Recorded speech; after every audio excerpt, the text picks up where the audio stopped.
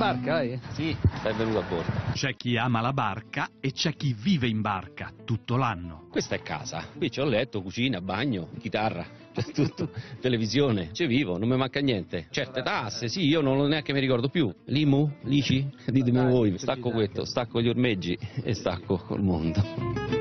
Chi vive da solo e chi in coppia. Noi viviamo qui da un anno e mezzo. Sono vigili del Ho fuoco. lasciato il lavoro, ho venduto casa, forno, fornelli e frigorifero. La zona dove viviamo noi è a poppa. Una scelta di vita, una passione, ma i conti si fanno sempre. Posto barca, 300 euro al mese. Però poi non hai altre spese, è inclusa tutta la corrente che vuoi, è inclusa l'acqua, c'hai ama, c'hai la luce, c'hai il gas, tutte cose che in casa devi avere. Un taglio di spesa importante. Da qui ci si attacca con la corrente. E c'è chi la decisione di vivere sull'acqua l'ha presa tanto tempo fa. Questa qua è, è diventata la mia casa, eh, sono 15 anni.